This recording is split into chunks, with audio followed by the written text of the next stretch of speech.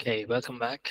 Uh, let's get into where we stopped, from where we stopped. Okay. Uh, the early church was preached, sorry, the early church priest preached the cross of Christ. Right. So when we look at the early church, we talked about Apostle Paul, uh, but here in the very first sermon, uh, the Apostle Peter, uh, in chapter 2, he stands up and he speaks these words Jesus of Nazareth, man attested by God, uh, attested by God to you by miracles, signs, and wonders. And so he preaches the gospel. Uh, Peter, again, in Acts chapter 4, Peter and John go to pray. Uh, they see this lame man and he says, Silver and gold I don't have, but what I have I give to you in the name of Jesus Christ of Nazareth. Rise up and walk. Right. And then they, after all of this, they said, How did you do this? Good question, no? One thing I know is, Peter, you are good. You're good with fishes. You're good with the boat. Who taught you all of this? Let's look at this reply. Then Peter, filled with the Holy Spirit, rulers of the people of and elders of Israel, if this day you are, are judged for a good deed done to a hopeless man, by what means he has he has been made well. Now let me tell you what what I did to all the people of Israel that by the name of Jesus Christ of Nazareth, whom you crucified, but God raised from the dead, and by and by him this man stands here before you whole. Can you think of these Pharisees, these leaders, these rabbis, wearing all their clothes and you know they're walking around. They know everything from Abraham all the Old Testament, all the law they know. It's all here. They're asking Peter, see, we've seen this man here lame for many years. With what authority you're doing this? See, you can't do, okay. At least I'm doing, no. You can't do it. I'm doing it. But you want to know what authority? The authority of the name of Jesus Christ of Nazareth. You leaders put him to death. But now God raised him from the dead. Can you think of these rabbis and leaders? They have, they have already lost the battle. They feel they are leaders, but they are not leaders. This fisherman here is in control of the situation. Fisherman doesn't know anything. He only knows how to fish, catch fish, Try it, fry it, sell it. That's all he knows. Now he's saying, the name of Jesus Christ of Nazareth, rise up and walk. They preached the cross of Jesus Christ when they were faced with persecutions and threat. In Acts chapter 5, again, because of all of this, they said, okay, bring those two, Peter and John here. And the council is standing, okay, listen, Whatever you're saying, what you've done to that lame man, good. Just say God has healed him. But stop preaching about this Jesus because you know and I know that Jesus was dead in front of our own eyes. We crucified him, we killed him, we, you've seen him dead. Peter saying, Hey, but I also told you he rose again from the dead. The tomb is empty. So I'm going to decide whether I should believe in you or obey you or should I obey God. So it's obvious that I'm going to obey God. They go on to preach the gospel. And the early church preached the gospel, and even you and I are to preach the gospel. In Acts 10, the first sermon to the Gentiles, right, uh, where Peter preaches, right, uh, and the people were filled with the Holy Spirit, and uh, and, and so we see that everywhere when people preached, it was followed up with signs, wonders, and miracles. Was. When people believed in the cross, there was miracles. Very important is not to look at the cross only for miracles. Cross is more than that. It's a place of salvation. It's a place of forgiveness. It's a place of love. But it's also a place of justice. Right? It's not only miracle. Miracles is one of it. We thank God for the miracles when we believe in the cross. Miracles is one of the free buy one get one free. You've heard of that, right? In the supermarkets, you get the cross, buy one get hundred free. You can't buy the cross, but you believe you will get all of this, right? The main message of the church then and the main message of the church now must be the cross. We cannot replace the message of the cross with good music, with friendly people, with organized programs, fun activity, you know, all of this. We cannot replace it. Now, remember the word replace. You can have motivational speeches, you know, uh, feel good sermons. None of this can save a person's soul. Now, there's a time and place for everything. When we go for a youth missions, example, we go for a youth meeting or a youth missions. You cannot stand there and say, oh, this is what Jesus did. This is the cross.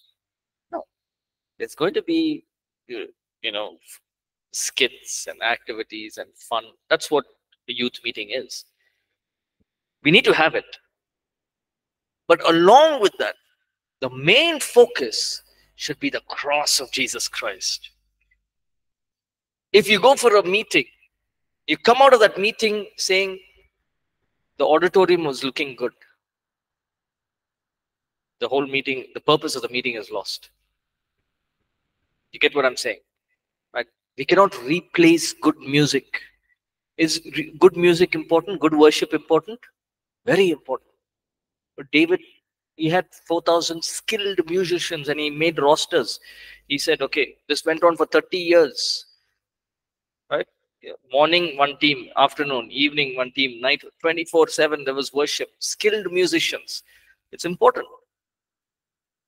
But we cannot replace this good music with, you know, or good our messages or, or feel good sermons, motivational speeches with the cross of Jesus Christ.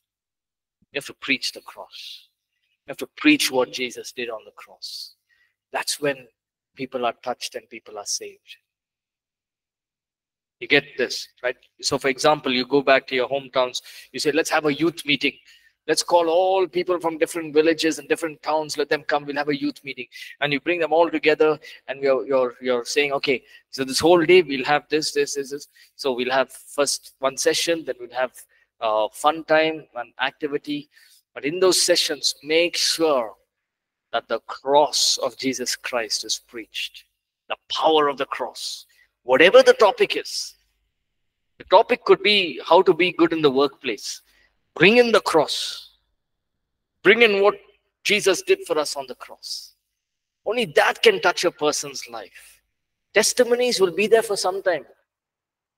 People will remember your testimony for some time. But the cross, when you speak of the cross, it goes into your spirit. It changes your life. How many of you remember the first time you prayed and you said, Lord Jesus, change me. I want to believe in you. I want to trust in you. How many of you remember that time? You all don't remember? Yes or no? You at least you remember, okay, I was here in this place. This is what I was saying. I was feeling sad I was feeling happy. I prayed. Yes? Right? That moment, that, that moment is much more precious than any other moment. Right? If you're not preaching the cross, you're not preaching the gospel. The cross is what will make the effect of the sermon or the teaching more powerful. Our own words, it will be our own way of communicating. But what we're doing is we're communicating the cross. Right? So there is the practical of preparing, but the dependence must be on God. We cannot change any person's heart. We cannot make a person believe in the cross. Only God can do that. So remember this. If you're not preaching the cross, you're not preaching the gospel. It's just a good time together. It's just another sermon. Try to relate everything that you're doing to the cross of Jesus Christ. That is the center all humankind. The simple gospel is the power of God. Even as you share this, don't be ashamed. And sometimes we, people may be may ridicule you, make fun of you, they may laugh at you, mock you. Remember, they did that to Jesus. Yes or no? They looked at Jesus, they ridiculed him, they mocked him, they made fun of him, they pulled out his beard, they spat on his face. They did everything that they could do. At least now nobody's doing that for us. So, as believers, we must be willing to share the power, the message of the cross, because this is the power of God unto salvation. Okay. All right, let's get into the shadows of the cross. Now, we talked about this, right? Before the foundations of the world, we preach Christ crucified. So, in the Old Testament, in many places, God showed his people what is going to happen through a sign, through shadows. And we know many of them. So let's look at a few of them, right?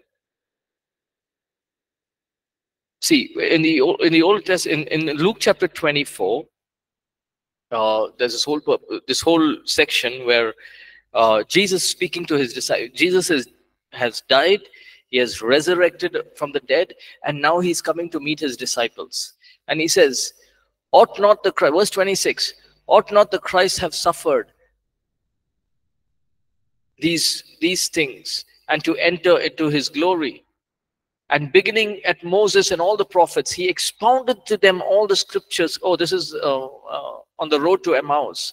He expounded to them all in all the scriptures the things concerning himself. Then he said to them, These are the words which I spoke to you while I was with you, that all things must be fulfilled which were written in the law of Moses and the prophets and the Psalms concerning me. And he opened their understanding that they might comprehend the scripture. Look at this, such an important example for us. Jesus has done all the work. He has defeated the enemy. He's resurrected from the dead. He's coming back. And not only is he showing himself alive, he's saying, See, I'm alive. Thomas, come in touch. Peter, don't doubt anymore. Disciples, I'm here. I'm flesh and blood. I'm here standing in front of you. He does all that, but he also says, It is written in the scriptures. From the time of Moses, it was revealed that the Son of God had to come. He had to suffer. He had to go through this. He had to die. And he expounded the scripture. That means what? It's like you, you know, two people standing and he and he's opening the scriptures. Hey, but you know what? Psalm says this. This is what the book of Acts is saying. This is what Moses said. This is what Joseph said. This is what Daniel did, expounding the scripture. That's what Jesus did. Jesus and the Word are one. You know, sometimes in uh, Hebrews chapter 1, verse 2 is powerful. It says, in those in the last days, God will speak through his son. Yes? How will God speak? He'll speak through his son. What is who is his son? Jesus. Who is Jesus? The word. So during these times, even now, it's very important to understand that we can go to God's word, read God's word, and God is speaking to us. The problem is sometimes we want a prophetic word, we want a vision, we want a dream, we want all kinds of confirmations, we want word of knowledge, we want this, that. All that, there's a time and place for that. But remember, God is speaking through His word. That is the most powerful word that you and I can receive. God, you said you will send your word and heal my disease. That's it. It's done. By the stripes of Jesus, we were healed. Now, what are you standing on? You're standing on what Jesus has done. You're not standing on a prophecy of somebody else. Standing on what Jesus has done. Prophecy is there, good. Vision is there, good. You're standing on something much more powerful. What Jesus is telling, only you're standing on.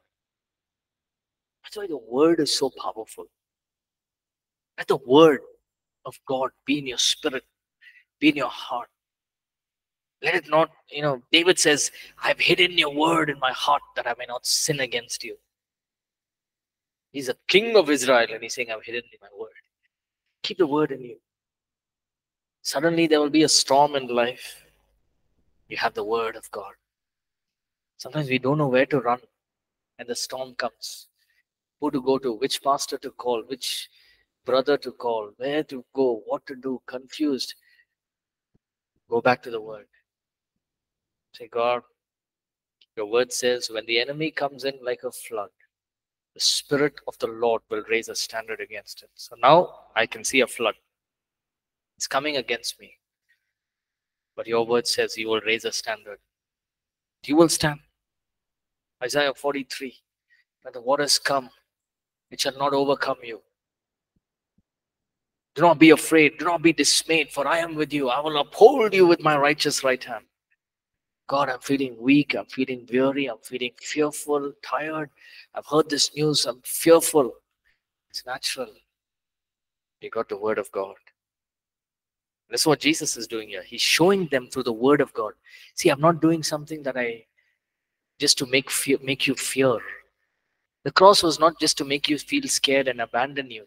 It was written years back from Moses, and there are signs. Let's look at the first sign the seed of the woman genesis 3.15 and i will put enmity between you and the woman and between your seed and her seed. He shall bruise your head and you shall bruise his heel. Whatever jesus did on the cross right, this is written genesis 3.15 i will put enmity between you and the woman and between your seed and her seed. He shall bruise your head. Where did jesus do this where did Jesus bruise the Satan's head? He crushed the devil on the cross. But it was written 4,000 years before. Right? He shall bruise your head. It's like the father is telling the devil, I will send somebody and he will destroy you. Now, you are saying you brought death into this world. You have made, you have tempted Adam and you have brought sin into this world. But I will, there'll come a time when my own seed will crush your head. What a powerful example. God the Father is saying this. My, my seed, my own flesh and blood will destroy you, will crush the serpent's head. And then in Genesis 3, what did God do after that? Adam and Eve dis- uh, realized, hey, I'm naked. Don't have any clothes because sin has entered them. What did Jesus, what did God do? The first clothing, he did the first sacrifice. We talked about this, right? The covering for sin can only be provided by shedding of blood right uh, genesis 3.21 and also for adam and his wife the lord god made tunics of skin and clothed them. Who made the tunics of skin? God. He, he sacrificed an animal, he, he sacrificed the blood, and he clothed them. A picture of what Jesus would do. That while we were yet sinners, living in sin, Jesus came into this world. He gave his own life as a blood offering. And that by his blood we are cleansed. He clothes us with his power. He covers us with his blood talking about what Jesus did. Then we have Abel's sacrifice in Genesis 4. Now, Adam knew his wife and they conceived, and uh, she bore this time. Uh, Cain was born, and then the second time Abel was born. Abel was a keeper of sheep, but Cain was a tiller of the ground. We know the story. Uh, Abel brought the firstborn of his flock of their fat, and the Lord respected Abel and his offering. Verse 5. But he did not respect Cain and his offering, and Cain was very angry, and his countenance fell. Worship that is not accepted, that is will not be accepted by God, must come based. Sorry, what am I saying? Worship that will be accepted by God must come based on the shedding of blood. We cannot come into the presence of God without the shedding of blood. Right? We cannot come into God by our own efforts. You look at other faiths, there is shedding of blood. Used the wrong way. See, the devil is a impersonator. Whatever God does, he'll try to do it. You have the original, you have the fake. Both look the same, but both have different value. How many of you have gone to the shop, you bought something, and then the storekeeper looks at the note like this? Ah, this is a real note. If it's fake, he'll throw it on your face. This is a fake note. But it looks the same. The same thing with the enemy. He he has his own things, but here we're focusing on what God did here, what Abel did. Abel gave the best of what he had. It was a blood offering. God's provision for Abraham's sacrifice. Oh, this is God provided the lamb. This is a perfect example. You read the life of Isaac and you read the life of Jesus, their nature is almost the same. The first covenant child. Here, the first child as a covenant from God Himself. God told Abraham, Take Isaac, go and sacrifice him in the mountain. So Abraham does it. We know the story, right? As the spear was coming, the knife was coming on his son. God said, Stop. There's a ram. Take that ram, cut it, give it as a burnt offering. But many years later, on the Mount of Golgotha, this time, God, Abraham was not there. God himself was holding the, just making, painting a picture for you. God himself is holding like a knife. And this time, he didn't stop. Because he told Abraham, I myself will provide. This time in Golgotha, God said no. It has to be done and on his own son, the punishment and judgment came. It was to show about what Jesus would do. It's a shadow of the cross. The Passover lamb, we know the story, right? I'll just summarize this entire chapter. What happens? Everyone know the Passover lamb, right? The final judgment, God tells Moses, okay, tell the people of Israel and tell Pharaoh, this is what's going to happen. All the male children, firstborn of the house is going to die. But you people, because you're in covenant with me, cut a lamb without blemish. Take the blood and put it on your doorposts. And when death comes, death will see that and it will pass by. Death will see the blood. Death will see the blood and it'll pass by. What did Jesus do for us? Christ is our Passover lamb. Right? He typified everything that when we are covered by the blood of Jesus, that shall pass by. Right? Christ brings the reality of the lamb into our life. That cannot hold us even as believers, death is not the end. It's just that we are going to a different place. That's it. From one place to another. From our place of sin to a place of glory. That's all it is. Right? Christ is our Passover lamb. He shed his blood.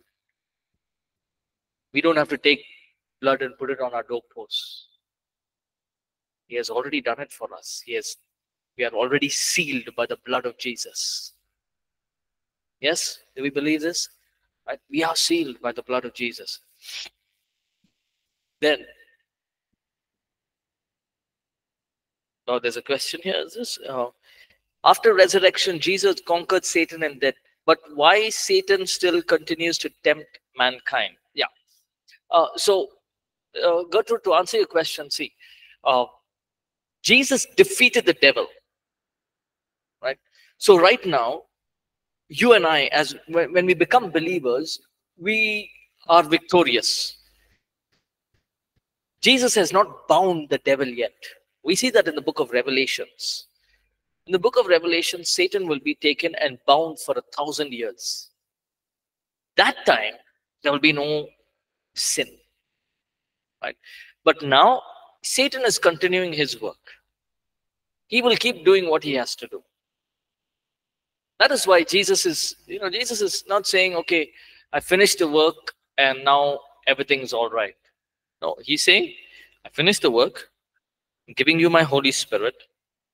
I'm giving you my weapons. I'm giving you everything that I have. And I'm I'm going to be there with you. You got to fight this fight of faith.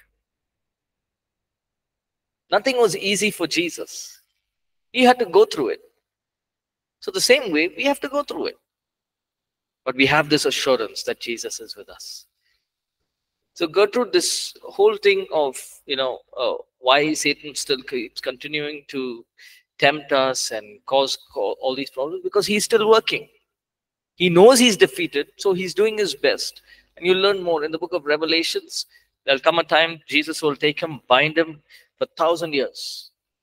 That time there will be no sin. That's why the book of Isaiah talking about that says uh, that, that time will be where the lion and the lamb will sit together.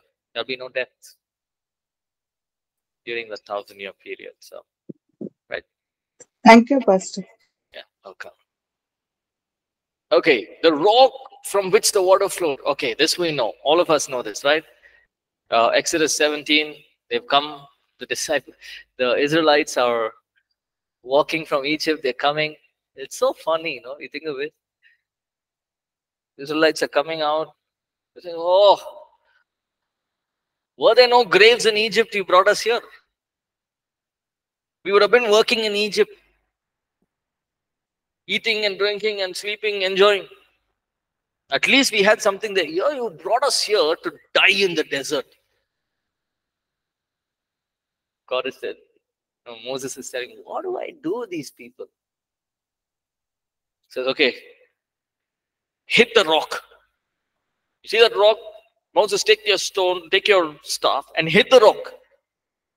And water started flowing from the rock. Now think about this. They were so happy. They all the Israelites went, took, started drinking water, quenching their thirst. Oh, thank you. They it. They probably filled water, and that water kept flowing where they went. Think about this. They forgot to look at the miracle that happened. They're all filling their water bottles. They forgot about the miracle. What's the miracle?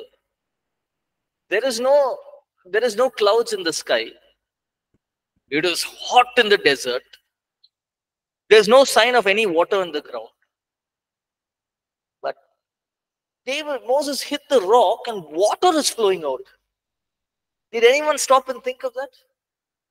If I was there, I would have said, hey, I don't know, I would have maybe ran to the water, but I would have thought, where is the water coming from? It's a miracle. They didn't see the miracle. I want the water. The water followed them.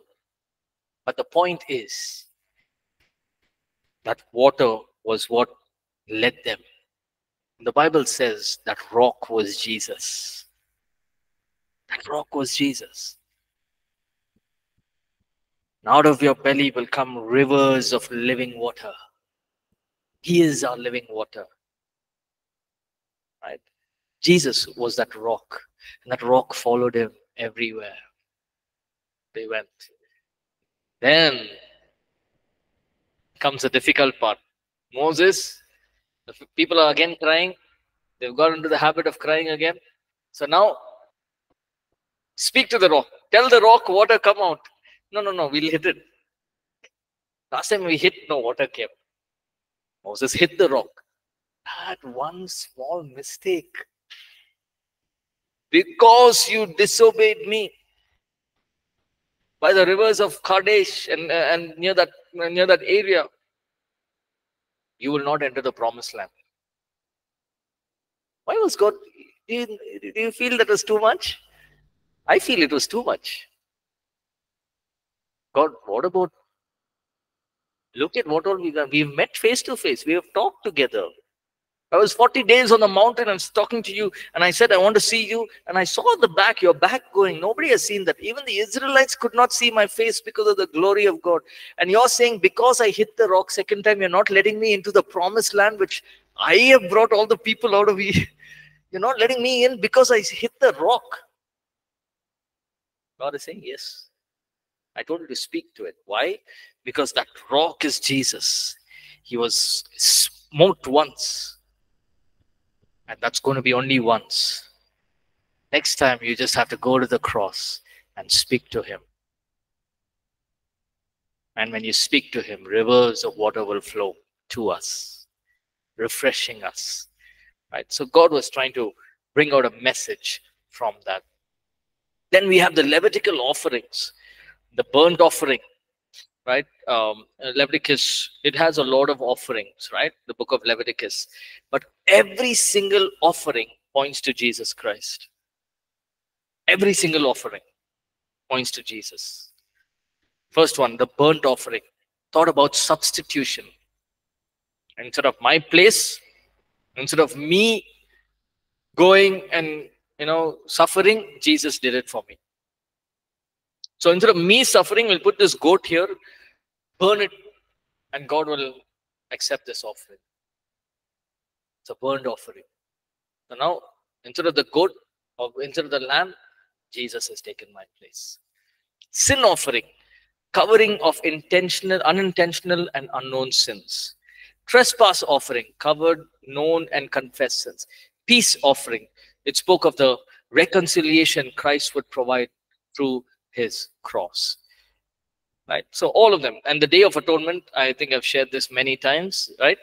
One day in the year, the high priest would go into the Holy of Holies, make atonement. That's what Jesus did for us. He became our sin offering, he became our sin bearer, and he went up to heaven and he made atonement for us. Next one the serpent in the wilderness. How many of us remember this story? Numbers 21. Again, the Israelites. You know, you read Exodus, Leviticus, Numbers, even Joshua. It's so. I don't understand, like, how. You know, that's the nature of man. Sometimes we feel, why is God so upset? Why is God so angry? Not angry. It's mercy. Because it's so they have seen the miracles, they've seen what God can do. Yet, no.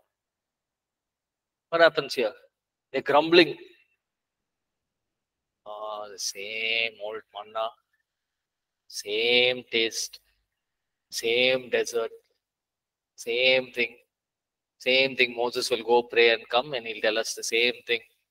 Aaron is there. We have to go and give one goat there. He will do the sacrifice. Same thing. Nothing is interesting here. Then we have then they'll blow one trumpet. We have to move. Then we have to do this. What is this? They're grumbling. They didn't see that they even the slippers on their feet were not torn. They didn't see that none of the diseases that fell on the Egyptians came on them. They didn't see all that. But they're grumbling. So hot. Now the water also is becoming bitter. Everything is going wrong. Grumbling. What did God do? He sent serpents. Okay, grumbling. Think of the serpents are going everywhere, biting the people. People are dying. Right? People are dying. Then God said, Sorry, then Moses said, God, don't let them die of snake bites. What will the Egyptians think? Please save them. Okay, here's what you do you take a brass pole, take one serpent, and tie it around the brass pole. And when the serpents, when you get bit by the serpent, just look at that pole and you will live. I think Moses would have said, I'm too old for all of this. Why all this? But he did it. Put the pole, brass. Sin is like a fiery serpent. Its sting is death. The serpent represents sin and Satan. Brass is this in, in scripture represents judgment. Remember the brazen altar, right? Where the animals were sacrificed. The brass serpent lifted up illustrates that sin and Satan was judged on the cross. Sin and Satan was judged on the cross. Every time the serpent bit these people, all they needed to do is look at that pole. Where's that pole? As it. They will live. Don't you think that's a miracle? By looking at that pole, that poison is already spreading everywhere. What to do? No, no, no. You don't worry about that. Just look at the pole. Sin and Satan will, will be taken care of on that brass pole. Gertrude, to answer your question, look at this. When God told Moses, put the brass pole and the serpent, God did not take the serpents away. What does he say? When the serpent bites you, then you look at the pole. He didn't take the serpents away. The serpents were there. It kept biting them, but they all they had to do is look at the brass pole. You and I can look at Jesus when sin, Satan, and all the force of the devil comes against us. Just look at the cross. Take your focus and say, God, I'm looking at the cross. I want to see the miracle in my life. Right? And then he who hangs on a tree, right? talking about what Jesus did on the cross. The Romans would typically take the dead body off the cross and throw them in the garbage dumps in Jerusalem. At that. After us, you know, what they would also do is they would, um, to speed in the death, they would break the people, whoever sac- who is being crucified, they would break their knees, break their bones, so death is faster. But the psalmist says, not one of my bone was broken. When Jesus resurrected from the dead, he was not limping and walking. There was no bone broken. Can you think of that? How long does it take to break a bone? One minute. Within a few seconds, he can break a bone. With all the excruciating pain and every suffering that Jesus went through, not even one bone was broken. Do you think Jesus does not know how to look after our body? He can. And he who hangs on the tree, the, the, they would take that body and throw it in the garbage dumps. But as it was written that he would not be, his body will not see decay. The blessings of Abraham included righteousness of by faith, friendship with God, victory over the enemies, prosperity in the land. And Christ did it for us. We have all these blessings through the cross. Right? Uh, Lucy. Okay, uh, Lucy says today a medical prescription shows this symbol, the symbol of uh, uh, the brass pole with a snake around it. Uh, but I don't think, Lucy, I don't think that is uh, uh, to show. That's not the reason why they have it. Yeah, it's a, Christian thing, no? It's like uh, I don't think it's a Christian uh, thing. it's it's Lucy. It's not a it's not a Christian. It's not because of that. That that symbol is just a symbol that they have come up with. Uh, Yeah. Without knowing, unknowingly, they are using that, Okay. showing people to look at Jesus Christ. They don't know. If they know about it, they might not use that uh, and their Yeah, but- Yeah, but we, but yeah, what you're saying is right. So, uh, but it's not a Christian. Uh, Yeah, yeah. okay. All right. Uh, so I think we'll stop here because if we get into the cross in prof, okay, let's just quickly do this. Is that okay? Just few points. I'll just go over overview of this. The cross in prophecy, they will divide his garments. And again, Psalms 2 says against his anointed, which is Jesus. But this is more uh, in detail. They divide his garments. Look at this Psalm, Psalms 22, 16 to 18. For dogs have surrounded me, the congregation of the wicked has enclosed me. They pierce my hands and my feet. I count all, I can count all my bones as they they look and stare at me. They divide my garments among them, and my clothing they cast lots. Think about this. David is writing this again thousands of years before, and he's saying, They they surround me. I can count my bones. I'm in this weakness. They stare at me. They take my garments, they tear it, and they cast lots for it. Did they do that? Exactly what they did. Now, the Roman soldiers didn't open Psalms 22 and say, okay, this is what is written, so let's open Psalms 22. It says this, so let's tear.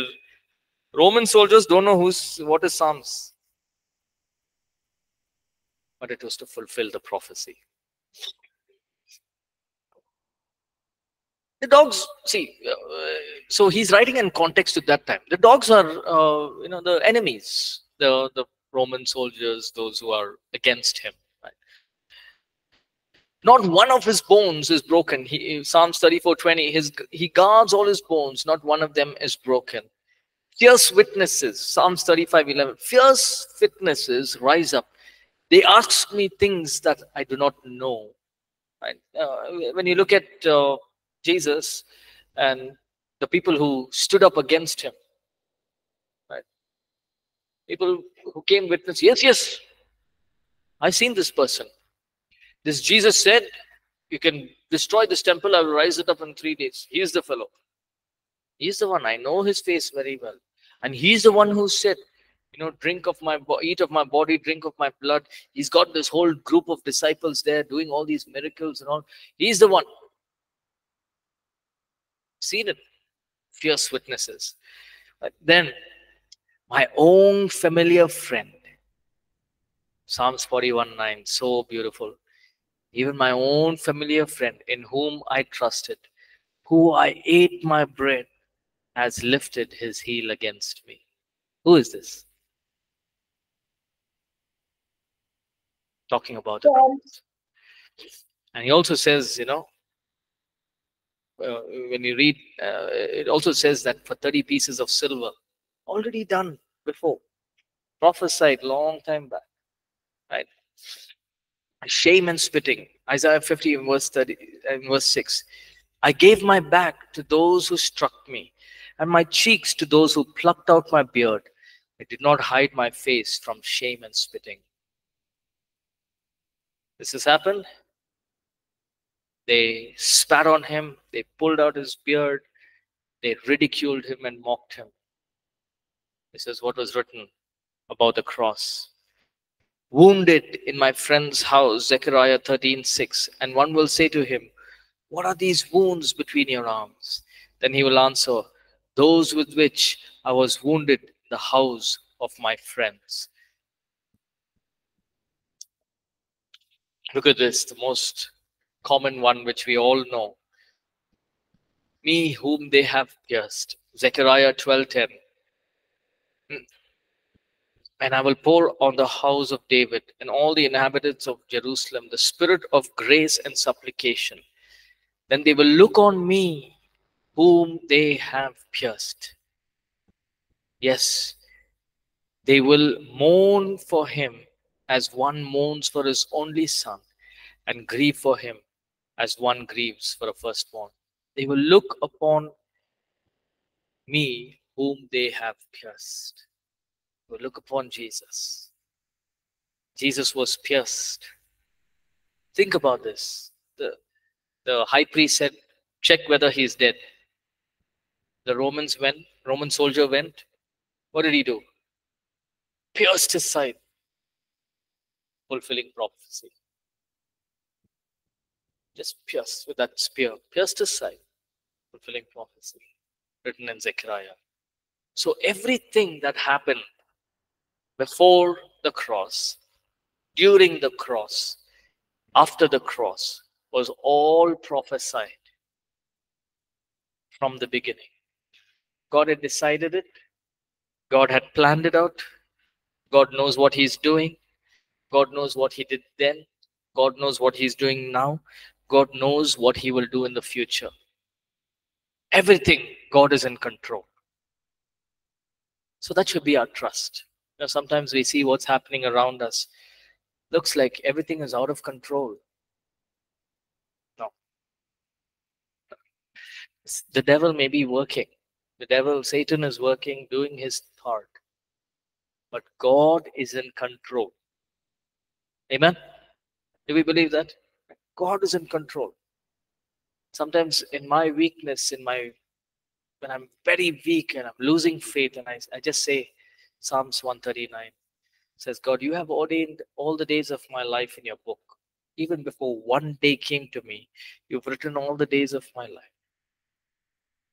You know, you know everything that I'm going through. And so we can just trust in Him, knowing that God is in control and uh, He will never fail us. Amen. All right, we'll stop here. And uh, next class, we'll get into chapter 16, the cross described. Thank you so much, everyone, uh, uh, who joined. Have a good week ahead. Have a good weekend. I'll see you on uh, next week, next Friday. God bless.